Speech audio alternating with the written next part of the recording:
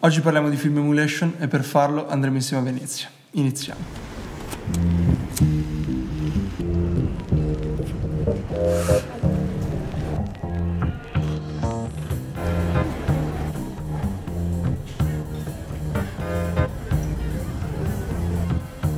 It's going down.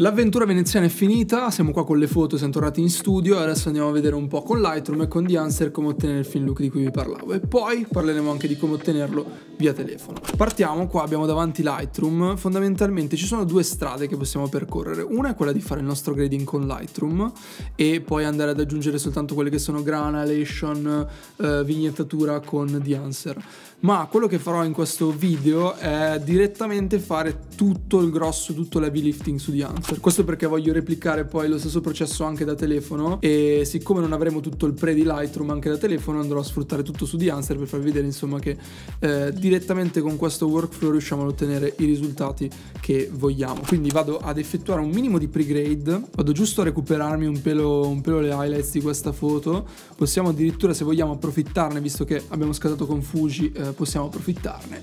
Eh, approfittiamone e mettiamoci magari un profilo un po' più flat, magari ci mettiamo un'eterna ci dà un profilo un po' più flat, un po' meno contrastato per avere un buon file di partenza su cui lavorare e uh, andiamo a togliere qual- qualsiasi cosa da questo oh, non so cosa cosa eh, va bene andiamo, andiamo ora su The Answer Uh, ok. L'interfaccia di The Answer sarà abbastanza simile a quello che già abbiamo visto su Final Cut, per cui avremo semplicemente una sorta di mirroring di quello che è un workflow di foto a pellicola, quindi partiamo dall'acquisizione, poi abbiamo eh, lo sviluppo, poi c'è la scansione, la stampa e quant'altro, quindi stesso concept, abbiamo parte di sviluppo, compressione, espansione, la nostra print, eh, se vogliamo aggiungere delle, se vogliamo andare a fare del bilanciamento dei colori, eh, bila, ehm, bilanciamento, grana, alation, blooming, vignettatura, esattamente quello che avevamo visto su Final Cut e possiamo procedere o con un preset oppure, e ce ne sono davvero di, di fatti bene, poi si possono salvare i propri preset, oppure si può procedere da un film stock, che è quello che faremo noi. Andiamo di films e io per questo, ehm, intanto se attiviamo film profile sicuramente si attiva più facilmente, eh, andiamo a sceglierci, non saprei, potrei dirvi anche che non mi dispiacerebbe un look tipo, tipo un, tipo un gold, tipo un gold. Vediamo cosa ci offre la casa. Vi dico di più, andremo di cinestile 800. Partiamo col nostro sviluppo, sicuramente abbiamo del contrasto da dargli in questo caso perché la vedo veramente poco contrastata e uh, un po' di compressione non, non, ci dispiace. Capiamo a livello di espansione perché non so quanto... Ok.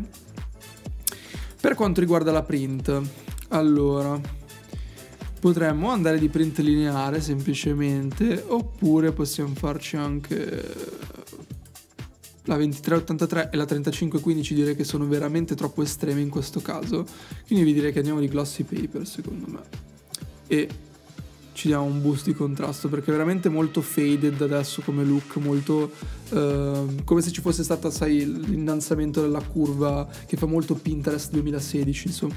Ehm, andiamo, mi sa che vorrei anche rendere il tutto un po' più leggermente, sì, più warm e leggermente più verde, ma non così tanto. Ok. E la nostra immancabile grana. Ora, non so se mi piace così tanta e così forte. Sicuramente la voglio super fine, un po' come una grana tipo di un portra. E magari riduciamo un po' l'ammontare. Così direi che non mi dispiace. E vediamo se aumentarne eventualmente la risoluzione cosa molto molto bella di Diancer che vi permette anche di scegliere quanta grana mettere nelle ombre, nei mezzi toni, nelle luci, quindi si può proprio scegliere un mix. Io spingerò particolarmente le ombre. All'Ation onestamente non saprei se quanto la voglio e se la voglio. Sicuramente non così tanta eh, molto spesso vi conviene esasperare, quindi mettere subito al centro l'effetto per vedere un po' dove va ad agire e poi eventualmente tornare indietro. Uh, ho guardato lo schermo, non ho guardato voi, però insomma avete capito. E um, direi che non mi dispiace un pelo, ma ne voglio veramente poca. E invece Blooming uh, lo spingerei un filo di più, uh, magari un po' meno diffuso.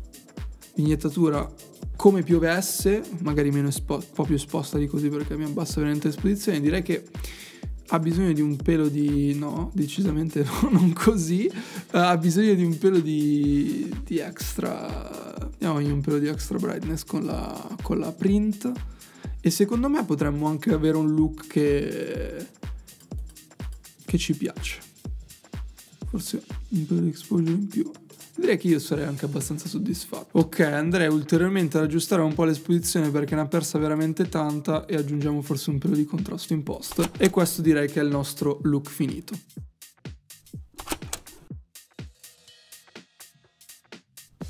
Ok, passiamo ora ad una bella flashata notturna. Ci piace sempre. Allora, intanto togliamo sicuramente questi occhi rossi. Uh, no, non era questo che volevo fare, ho sbagliato stool. Ok, a questo punto direi che sicuramente abbiamo tanto da recuperare. Eh, soprattutto perché abbiamo, abbiamo, un po' di sfondo dietro che ci potrebbe venire utile. Non è super a fuoco, ma ci piace così. Le foto a fuoco sono overrated, a noi piace, piace un po' così. E andiamo, andiamo sul nostro caro di Answer a questo punto. E qui possiamo, la cosa abbastanza figa che tra l'altro vi tiene in memoria le, le precedenti regolazioni, quindi eventualmente possiamo andare a proprio applicare le stesse identiche eh, regolazioni di prima, anche se vi direi che onestamente non mi fa impazzire. Eh, capiamo se c'è qualche preset a questo giro. Potremmo anche andare di bianco e nero bello tosto. Eh? Bianco e nero violento potrebbe starci. Però non, non, so se, non so se è proprio quello, la strada che percorrerei in questo momento. Oddio, non so cosa sia questo, non è neanche un film, ma spacca. Ehm, vediamo, vediamo cosa ci offre la casa. Vedo del potenziale in questo Velvia in realtà. Vedo del potenziale. E qua ad esempio la compressione ci salva assolutamente la vita. Anche se vi direi che sta roba è completamente... Uh, completamente warm, fin troppo warm. Però potremmo spingere proprio per un look bello spinto. Anzi, mi sa che è proprio quello che farò. Proviamo a cambiare la print anche. potrebbe essere interessante. Magari spingevo anche un po' di più sta grain, spingevo un po' di più l'ammontare.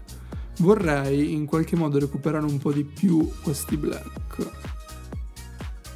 Non così tanto, però comunque, eh, anche se un po' andremo a washare tra molte virgolette il nostro file, eh, non mi dispiace in realtà distruggerlo parecchio. Vediamo cosa possiamo fare se dovessimo togliere un po' di contrasto eventualmente andare ad aggiungerlo in post um, vediamo insomma adesso cosa si, cosa si, può fare. Io provo a tweakare un po' di cose vado a ruota libera e mi faccio trasportare dal flow. Vediamo magari di metterci un po' meno di elevation allora, non mi dispiace anche se vorrei, vorrei recuperare un pochettino di più in qualche modo. Riusciamo a, a recuperare ancora un po' quello che è dietro. Ok, siamo arrivati ad un risultato super blu che a me onestamente non dispiace. Forse vorrei leggermente meno blu nel, nel file. Esattamente come prima vado a fare due regalazioni extra su Lightroom, in questo caso alzo un po' ste ombre perché secondo me si può recuperare qualcosina, eh, non da fare maschere o cose del genere, sembra surreale, cioè sembra quasi messo su un, su un background, però devo dire che non mi dispiace, lo proverei con un'altra foto anche. E dopo del tweaking intenso siamo arrivati a questo risultato.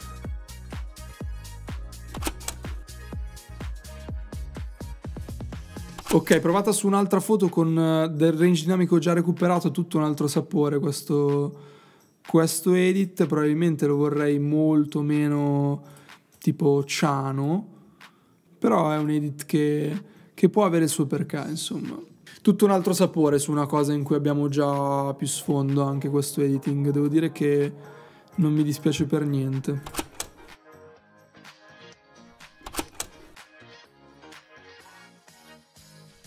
Ok, come avete visto ci sono un sacco di possibilità tra print e una serie di combinazioni che si possono provare. Ho giocato anche molto con i file per vedere dove mi potessi spingere. Magari non sono questi gli definitivi a cui punterei, però sicuramente era per farvi vedere quanta flessibilità c'è e quanto effettivamente potente possa essere questo strumento. Ma passiamo ora alla parte telefono.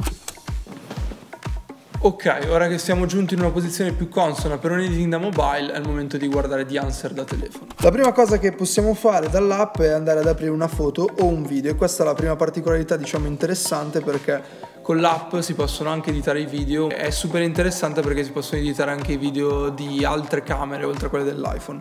E infatti andremo ad editare dei RAW sia dell'iPhone che eh, della mia Fuji in modo tale che vediate come il workflow sia fondamentalmente lo stesso anche da telefono. Andiamo ad aprire uno dei RAW, partiamo da un RAW del telefono che potrebbe essere benissimo questo e come vedete abbiamo Ovviamente l'ultimo edit, esattamente come per, per, quello che abbiamo visto nella versione da computer, ma abbiamo gli stessi identici preset. La cosa abbastanza interessante è che in realtà questo edit già funziona, quindi potenzialmente possiamo andare ad aggiustarlo e abbiamo fondamentalmente tutte quante le stesse schermate, semplicemente ribaltate e il, il workflow è fondamentalmente lo stesso. Andiamo a scegliere il film che c'è più congeniale, andiamo a capire se vogliamo modificare direttamente la sorgente, in questo caso io vorrei andare a editare leggermente le alte luci, poi abbiamo la nostra compressione che a mio avviso necessita di essere spinta molto di più in questa foto, andiamo a correggere il punto di bianco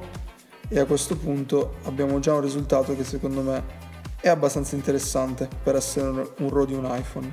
Andiamo ora ad esportarlo e questo è il nostro risultato finale con pochissimi clic. Andiamo a scegliere un'altra foto, magari prendiamo un RAW della camera, tipo questo, questo RAW di Fuji, partiamo dall'originale in modo tale che si possa andare a sistemare la sorgente al meglio, questo secondo me ha bisogno di molta più esposizione di così e leggermente mi piacerebbe un po' più warm.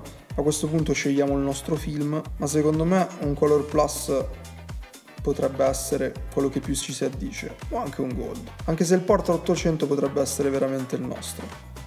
Necessitiamo sicuramente di più contrasto, c'è sicuramente da espandere leggermente, non mi dispiacerebbe farlo con dei neri leggermente più slavati come se l'avessimo pushato e secondo me la print potrebbe farci una bella differenza, magari una 2383 in questa istanza.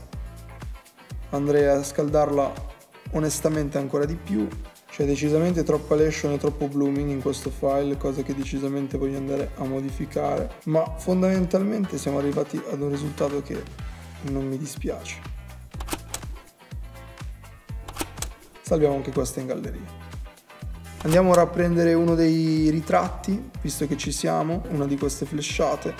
Magari ci possiamo fare un bianco e nero a questo punto, visto che non l'abbiamo ancora usato e potrebbe proprio essere un HP5 pushato. Vorrei ampliare ancora di più questo contrasto e abbassare leggermente questi bianchi che sono davvero accecanti. Possiamo anche dargli un contrast boost fatto così e poi direi che forse ho esageratamente chiuso i neri poi andiamo a capire la nostra print perché volendo possiamo anche spingerci oltre e dargli queste tonalità un po' verdi magari possiamo andare leggermente ad aggiungerci del blu. Diamogli una grana da 535 mm. Spingiamola. Why not? Un po' di elation in più. Il blooming io lo spingerei ancora di più perché abbiamo appunto questa luna dietro che secondo me potrebbe avere il suo perché. Un po' di vignettatura extra e un filo di esposizione in più. Ultimo step, andiamo a prenderci un video. La cosa veramente bella è che possiamo editare il video esattamente come editeremmo una foto. Quindi possiamo prendere gli stessi identici preset che ci sono lato foto e applicarli completamente al video.